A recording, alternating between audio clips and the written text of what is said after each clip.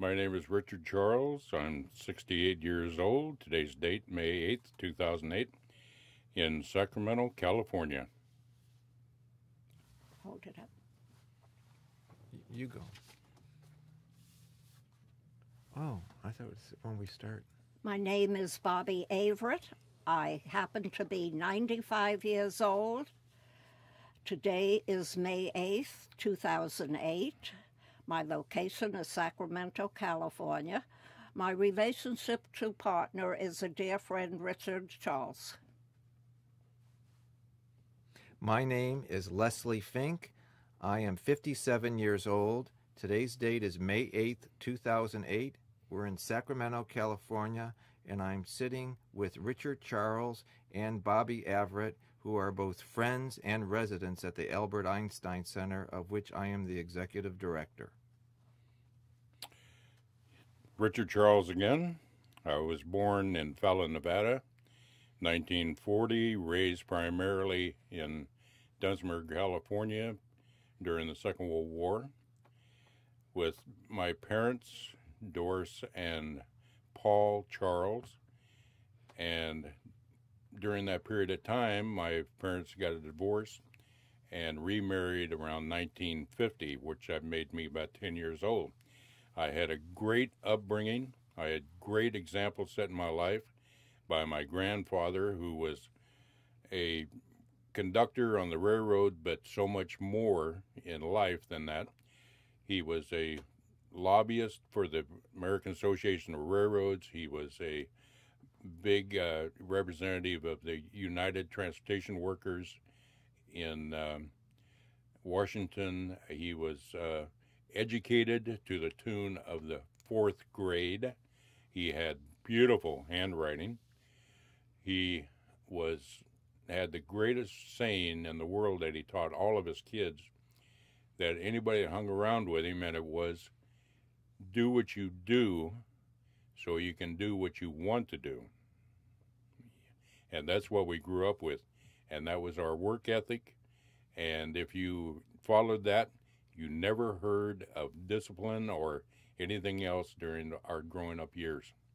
And that applied to boys and girls. Period.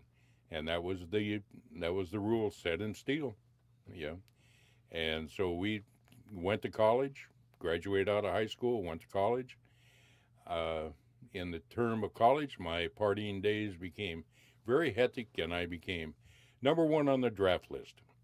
And so I had a friend that, uh, namely my mother, that called me and said, I was told that you are number one on the draft list. And so get re- prepared for the Army. And I said, no, no, no. I'm going to get prepared for what I wanted to do. So I went and joined the U.S. Navy. Yeah. Dropped out of school, went to the Navy, spent six years, had a lovely time, ended up getting injured, spent a few years re- rehabbing, got out, and uh, back to civilian life. Went to work at the railroad, the Southern Pacific Company. Spent a few years there, advanced through there, and then it was time to try something new. So a leave absence came into effect, and I became part of the business world.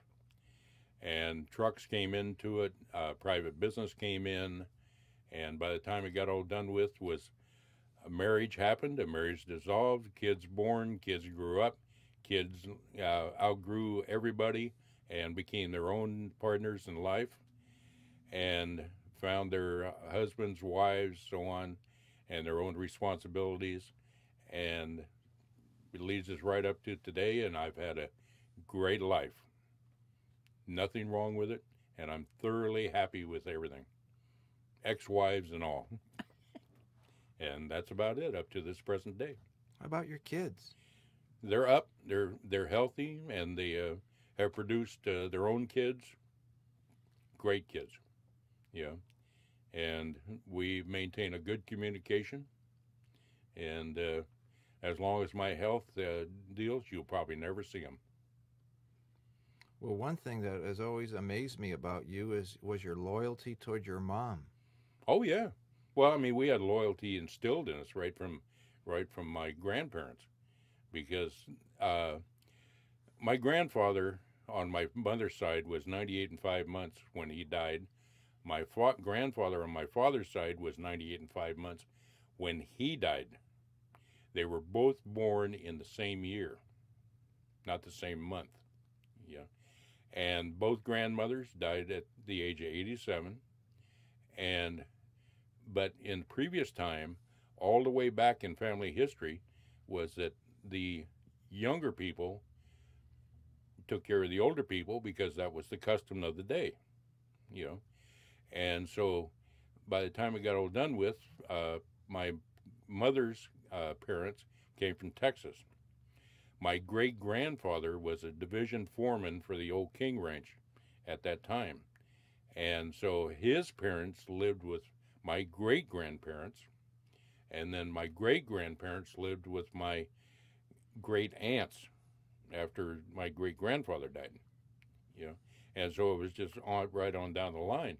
And so when my grandparents became very, uh, well, not frail, because to look at my grandfather, you never knew he had a frail day in his life. But his eyesight started waning a little bit, so he came to live with my mother and myself down here in Sacramento. And the funniest part about it was that he was a walker.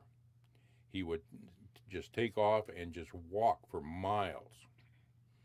When Dunsmuir, the town uh, in the next town is a place called Mount Shasta, which is nine miles away. He used to walk it. You know, he used to walk to Castle Crags, which is six miles, approximately about six miles south of Dunsmuir, to get sawdust for his garden. He would take gunny sacks, go down and fill up the uh, the sawdust, and walk back. You know, he enjoyed it. No shot. And my other grandfather was exactly the same way. They did an excessive amount of walking. They did an excessive amount of uh, physical labor. Lived in 98 and five months. So what they say just might be the truth.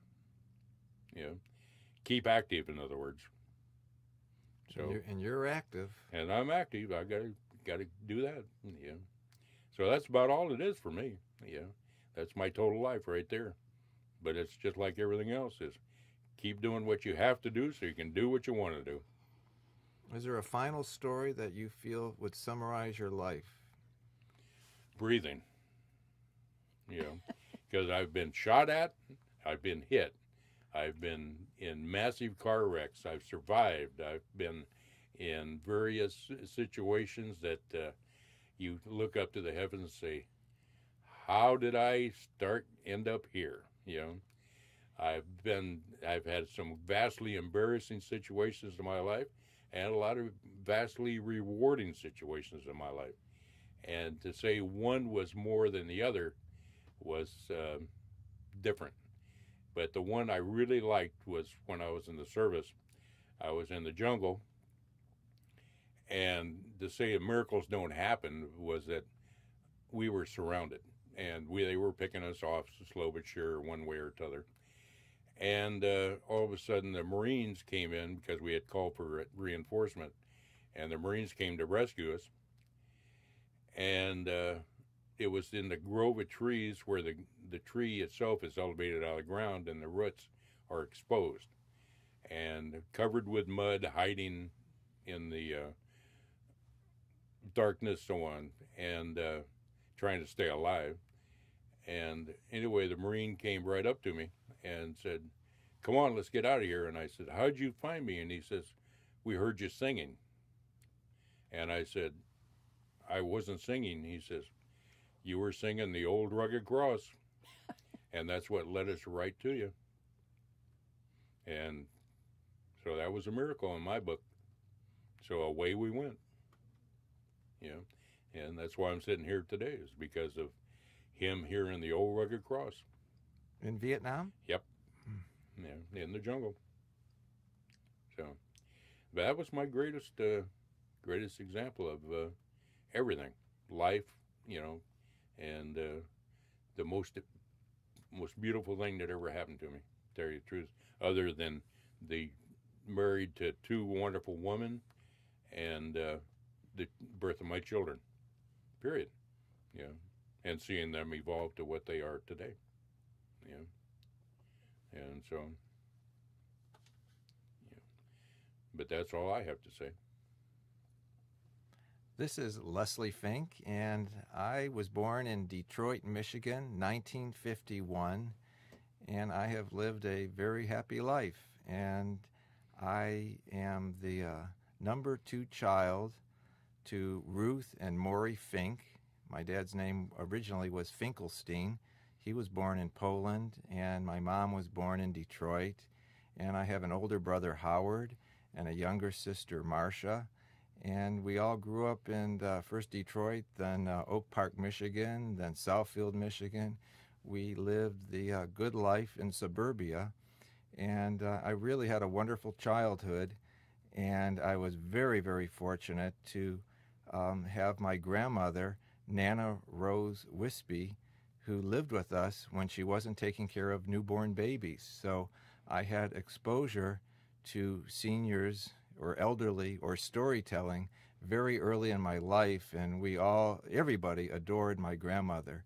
She was um, revered by many, and she passed on some wonderful qualities not only to my mom, Ruth, eh, but my own uh, self. Um, I, have learned compassion and listening skills and uh, love of baking and cooking really through my grandmother.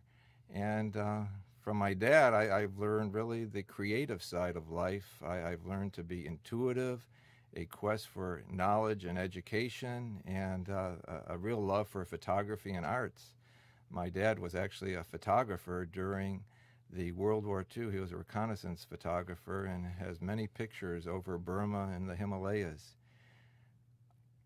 I, I grew up, again, as I said, in Michigan, and um, uh, I had a wonderful education, and ultimately, I went to uh, college and I, I, I love psychology, and um, my um, interest in being a psychologist really was short learned or short lived because um, I, actually loved it. I worked at Sinai Hospital in the psychiatric unit. In fact, I was working at a a wonderful program at Sinai Hospital, which was called the um, Problems of Daily Living Clinic. And this was really early on when people really needed treatment for everyday problems, from sexual dysfunction to alcoholism to anxiety attacks.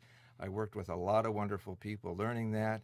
But ultimately, I, I couldn't get into any psychology grad schools because um, they were very difficult, even harder than medical school in those days. So I ended up getting a uh, opportunity to go to the George Washington University for graduate school and um, got a degree in mental health administration, which is actually a, a part of hospital administration.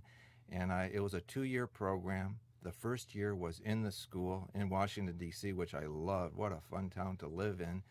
And then ultimately, uh, instead of going to Chicago to be with this the world's number one administrator in mental health administration, he called me. His name was Mr. Pipenbrink. He called me and said, Les, if you want to go to New York City, I just got a job among 5,000 applicants to run Willowbrook. Willowbrook was an incredible snake pit on Staten Island. Willowbrook uh, became uh, very famous when this two bit reporter named Geraldo Rivera exposed all the atrocities that were going on in this horrible institution. There was a staff patient relationship of about 90 residents to one staff, and it was deplorable. By the time I got to Willowbrook, basically, um, Willowbrook had been taken over by the courts. Uh, there were originally, um, I believe, um, the time I got there, there were 6,000 people living there, but originally there were, I think, 20,000 people living in this institution.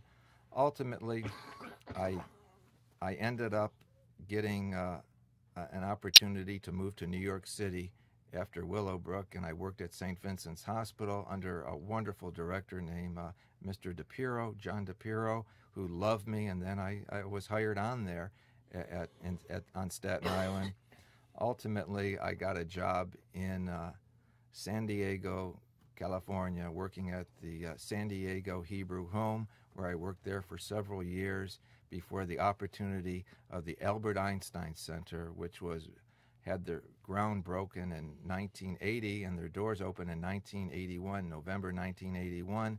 I moved up to Sacramento in April of 1981 and I became their executive director. Uh, gratefully, under the uh, leadership of Judge Leonard Friedman, Leonard was just an incredible Renaissance man. Leonard was uh, a brilliant man, uh, a leader, and uh, really took a liking to me. And I worked very closely with him. And I had a wonderful board of directors of a number. There were nine board of directors, and one of the people who was on the board was a lady named Lillian Dawson. Well, Lillian, she always said, "I'm going to put my foot where my mouth is," and she ultimately moved into the Einstein Center and she proved to be not only a, a, great leader of the Jewish community in Sacramento, but representing the Einstein Center, she really uh, created some wonderful visions, and we worked very closely together. And she was a very, very dear friend. And um, um, I, I, over the years, have developed just wonderful relationships with board of directors, the Jewish community in Sacramento, and uh, tons of wonderful residents who have lived at the Einstein Center. Some that come to mind is uh, first we had a lady named Sonia Hornstein. Sonia comes from Detroit, and her family, they, she had five boys. They were called the Deans of the Deli. And these guys were just remarkable corned beef people. And some of them moved to Sacramento, where the mother, uh, Sonia, moved in. Well, she lived to be 101 and she had a uh, a very big part of my life because when she on her 100th birthday i decided to create a video uh, and there wasn't even videotape cameras really in those days they were just coming out and i remember showing her uh, about a 15 minute story and i remember sitting there with my uh, wife tina and thinking my god this is just a roller coaster of emotion 30 people were in the room. They were singing, they were dancing, they were crying as this story went on about Sonia. And I thought, God, this is an incredible idea. And fortunately, I was very lucky that uh, some people knew what I was interested in. They were very helpful in me procuring some wonderful video equipment that uh, really uh, sprung me into the world of storytelling and video making. Um, one of the stories that I did was another resident who lived at Einstein was Leon Reynes Lambe. He was the mayor of the Einstein Center, and he was a Holocaust survivor. And uh, I had a wonderful relationship with him and Nuta, and her, her, his two daughters, or their two daughters, uh, Mina and Nellie. And uh, God, they, they had told wonderful stories, and um, uh, he was a survivor, and, and he, he really died maybe uh, five years ago. Also, um, uh, one thing I, I, didn't have a chance to say about Sonia is that one of the hardest things that I ever experienced at Einstein was uh, I had a very wonderful relationship with her, as, as I do with many of the residents, including Bobby, who's sitting next to me, where I would go in and they would uh, wine and dine me on their wonderful cuisine. And one day I went in and talked to Sonia, and I had a heart to heart with her. I had just had my little girl, uh, Ashley Ray Finke. She was not even a year old. And, and Sonia was so possessive of her and, and really wouldn't let other seniors uh, get around her. She was very possessive, very demanding, and, and it was almost embarrassing. So I'll never forget having this long talk with Sonia, how much I adored her and loved her, but she had to lighten up. Other people want to share share my love of my daughter and uh, back off a little. I, I knew this was hard for her to hear. She's a very stubborn lady, although 101 years old at the time, she was a tough cookie. I came back a couple hours later just to make amends, and there she was, lying dead on the floor. Oh, I'll never forget that. I just crushed her heart that was pretty tough in those days. And and I've had just uh, both ups and downs over the years at the Einstein Center. Just wonderful relationships with people, another great relationship with people that uh, both Richard and Bobby will certainly know is Tommy, Tommy Mallory. I call him the uh, Jackie Robinson of the Einstein Center. He broke the color barrier and he was just a wonderful human being. He gave so much, but uh, he took a lot. He wanted a lot. He was certainly somebody you had to nurture, but he was really uh, quite a guy. Um, uh, I, I, didn't get to say much about my daughter Ashley. She's really the apple of my eye, and I, I was married for almost 18 years, and we had a relationship that was uh, pretty consistent. And um, unfortunately, we sort of drifted apart, and uh, still, my ex-wife Tina is, is, very devoted to Ashley as well as myself, and uh, I'm looking forward to seeing Ashley tonight, who's uh, coming in from college. She's going to school at the Academy of Art. Um, one of my favorite stories that I'd like to share that sort of typifies my relationship with some of the residents at Einstein is with a young man named Herb Chase. One day, Herb came to me and said, Les, I have some shoes I want to give you. And I said, God, that would be great. I'd love your shoes. Well, he brings me down a box of, uh, or a, shoe box with brand new shoes in it from Nordstrom's. I said, My God, what are you giving those to me for? They're $85 shoes. Why don't you just take them back? Well, Herb does not like to deal with issues. So I said, Look, Herb, thanks. I, I will relish the, the shoes and look forward to wearing them. Well, I ran down to Nordstrom's, returned them, which is no problem whatsoever, and I got the $85 plus tax, and I put it in a birthday card to him, and I stuck it under his door. And I thought, he will really be a happy camper. Well, he never said anything to me, and several days later, uh, I had hired some painters to paint my house on the inside, and I couldn't get into the garage, which 99.9% of the times I enter my home through the garage, and I decided I had to go through the front door. I go to the front door. There at the front door is a huge styrofoam box. Leslie Finke from Omaha Steaks.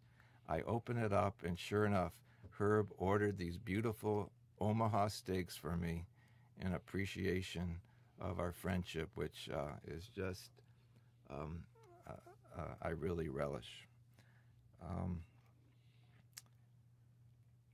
all in all, I, I, think one of the secrets to life is, is giving. And I, I, swear, if you're a good person, you know, people give back to you. And, and um, it's really wonderful being able to work at the Einstein Center because uh, people, for the most part, really reciprocate. They are appreciative, as Bobby is. Uh, almost every day, I can go up there and uh, catch a glimpse of uh, Dr. Phil or Oprah, a little fresh applesauce or mandel bread.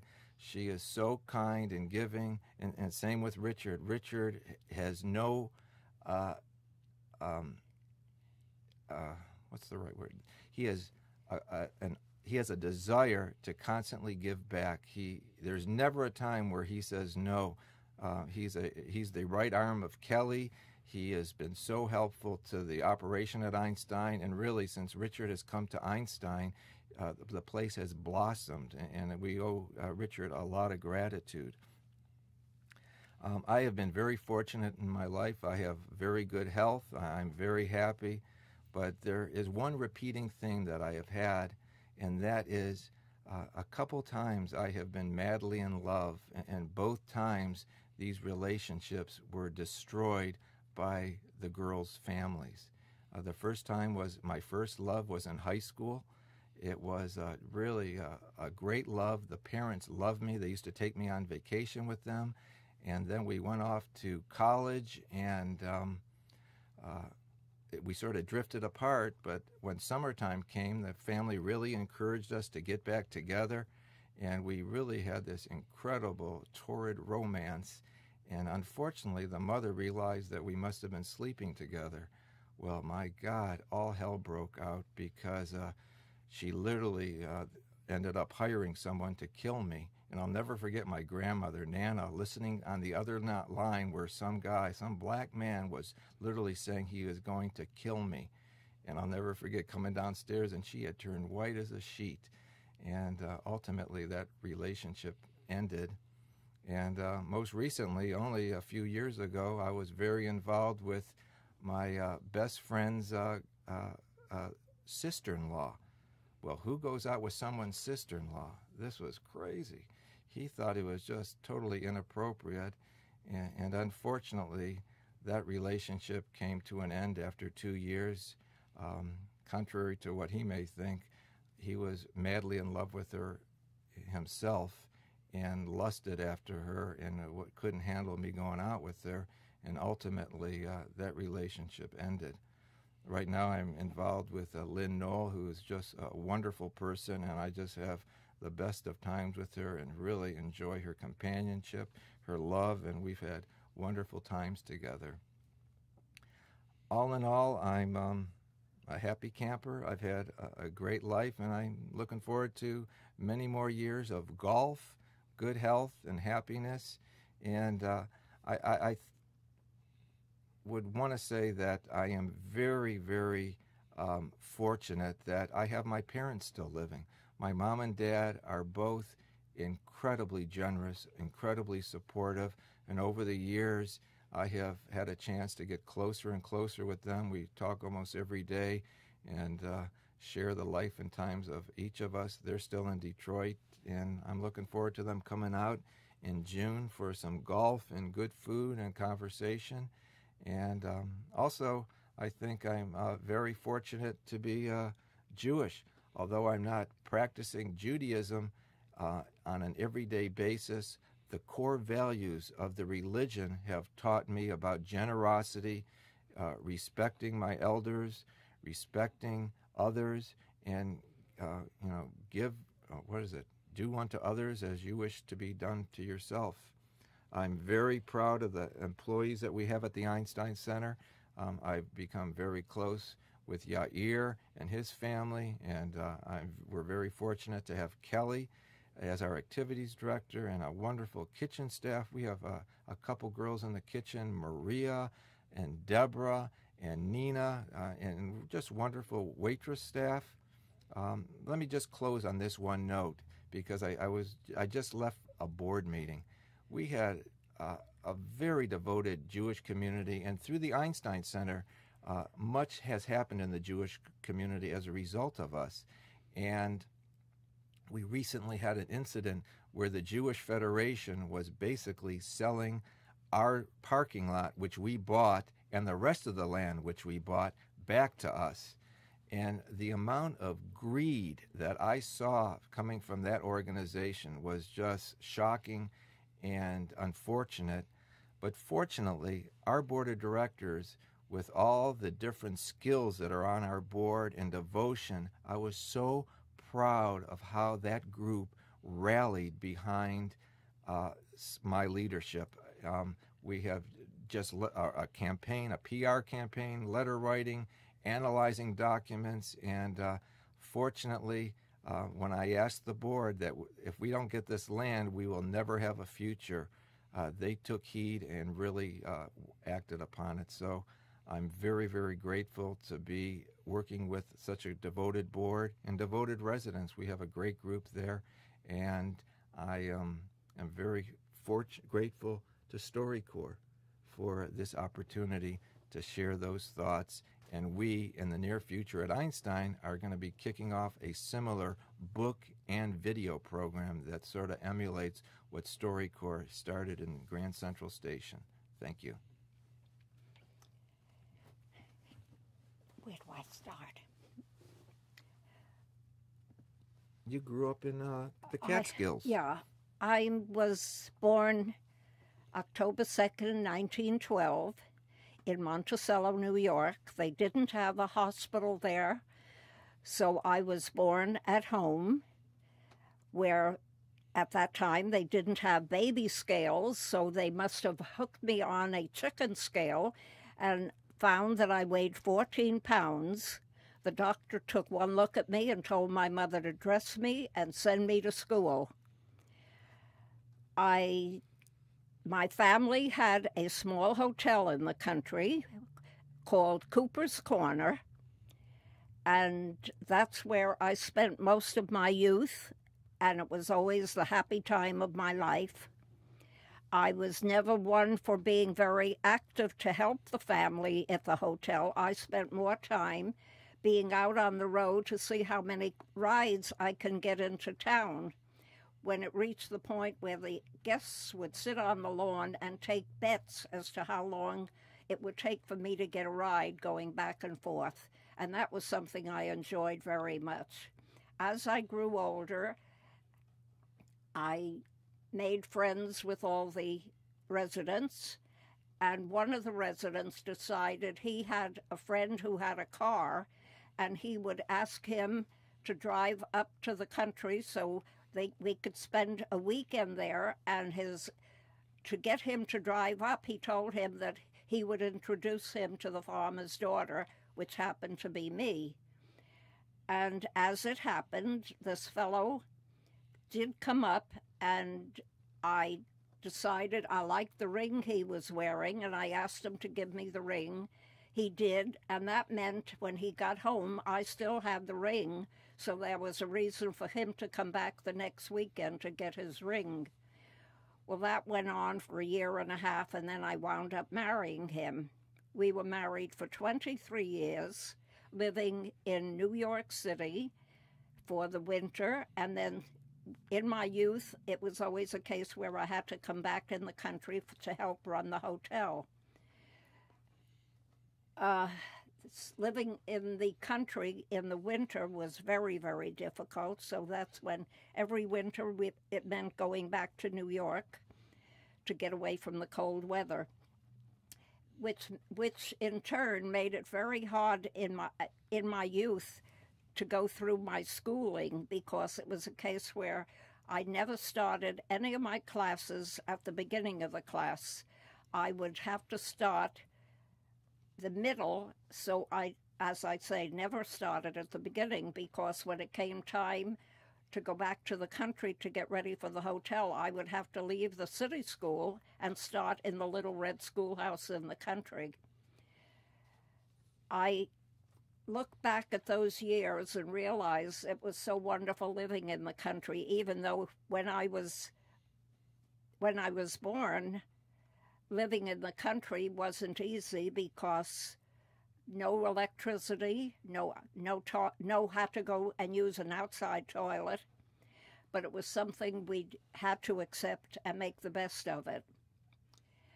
As I after I got married, in uh, I think I was married seven years when my husband had to go into the service, and at that time it meant that I would have to go to work so I found in New York they were advertising for someone to learn key punch operating and being paid while you were learning. So I took advantage of that and did become a key punch operator.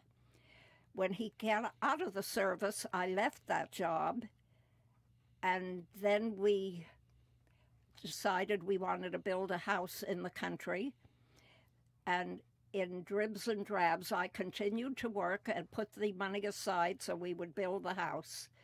So the first year it was the foundation. The second year it was having the well, the water, the well drilled. And in time, each year that went on. And in 1951, we were able to move into our home. And at that time, they, my my sister in law saw an ad in the paper for Fallsburg needing a man to work in a candy business. And that's exactly what the work that my husband knew. So he went to apply, and he did. So we had to go back to New York. He, I had to give notice to my job that I was leaving, and he in turn did the same for him. So we moved into our home in 1951 and the six years that we lived there, of course, the first thing we did was get a dog, which we were crazy about. Since we didn't have children, that dog was like a child to us. And in 1957, I get a letter from my family in California that a brother in law had passed away, and if we would sell our home and make the move to California, my husband would be able to take over that brother in law's business Well, I was dead set against it because that home meant so much to me. Every nail in that house was was something that I felt we worked so hard for it I never wanted to leave. But my husband convinced me and said if we didn't make the move for the rest of his life, he would be working for somebody else. Whereas if we go to California, I was that he'd be able to take over the brother in law's business, which we did. We arrived in California in 1957 and were very fortunate in getting an apartment right next door to the apartment that my sister and her husband had. So it was so easy for him to take over that business, which we did. Uh, the business was a sundry business, which meant just very incidental things that he was selling to drugstores. I, in turn, helped him run the business, even made some deliveries. And the business went so well that evidently, for the first time in his life, he was walking around with wads of money in his pocket. And too bad that that went to his head. Tell him a little about your life at the Red Cross. Well, the, well, that's when after the divorce. No, you're, I'm jumping ahead. Uh, my husband uh, started to do see the women on the side, which he denied. When I would talk to him about it, he would say, I'm going through the changes and it's all in my head. So when I found the evidence that I needed, I didn't even say anything to him and decided I would divorce him. And after I divorced him, I was finding it very hard to, to settle and think about making another life for myself. Fortunately, I took up a course of, P, of PBX work, and then I couldn't think of going out to find a job after having five days of that work. I still felt like I knew nothing about it. But my sister was smart enough to tell me we lived across the street from Red Cross on Vermont Avenue that I could go and qualify, ask to volunteer work there, and I would be able to get the the full experience of working there so I would feel better about getting a job. I walked across to Red Cross and spoke to the controller, and the first question he asked me is, What work have you ever done? I said, Well, in New York, I was a key punch operator. And when he heard that, his eyes opened up. He said they had an ad in the paper for a number of weeks and didn't get one response for a key punch operator. Was I interested in employment? I said, definitely. He said, You want to start today? And I said, No, but I'll be happy to start tomorrow. And he, when he mentioned how little money he was being able, they were paying for that job, he didn't realize that if he said it was half the amount, I would have accepted it anyway, because at that point, I felt as though my life was coming to an end. I was past the age limit, and I was sure I would never find another job. So I did start to work, and I worked there for 15 years when I decided I saw too many people work there until they were 65 before they would retire. And so many of them, after they retired, within a year or two, they died, were sick, and died. And I decided since I only had to cross one street and go home for lunch, I would be able to manage if I took early retirement. And at that point, I was given the option do you want to take your retirement money out or leave it there until you're 65, which meant leaving it there for three years.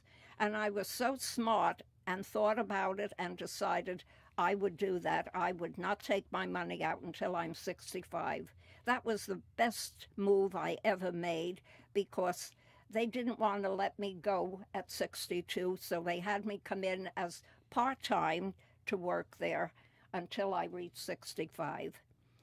And when I told them that this chance came up about going to the having my own home in the country, they decided they were going to let me go. And I got the most beautiful letter from them and made the move leaving Los Angeles no, I stayed in Los Angeles. I lived in that one apartment for 40 years, and I never thought I would leave there. And uh, after living there that many years, I, I would tell my niece who lived in Sacramento, who wanted me to come to Sacramento, that I would stay there probably until I died. But I don't know, something happened, and she talked me into coming to Sacramento. And, we're happy you did that, Bobby. That was the best move I ever made because I'm 95 years old and I am so happy with my life now. And it's mainly because of this Mr. Les Finke, who has been so wonderful to me. When I was sick, that man didn't think I was going to make it home, but I fooled him. He didn't think I'd come back to Einstein but I'm here, and every day I am so grateful and thank God for each day that I'm here because it's the best place in Los Angeles, in Sacramento. There isn't a better place as far as I'm concerned. I love everybody there, and I'm very, very happy to be alive at 95 and blessed each day that I'm alive.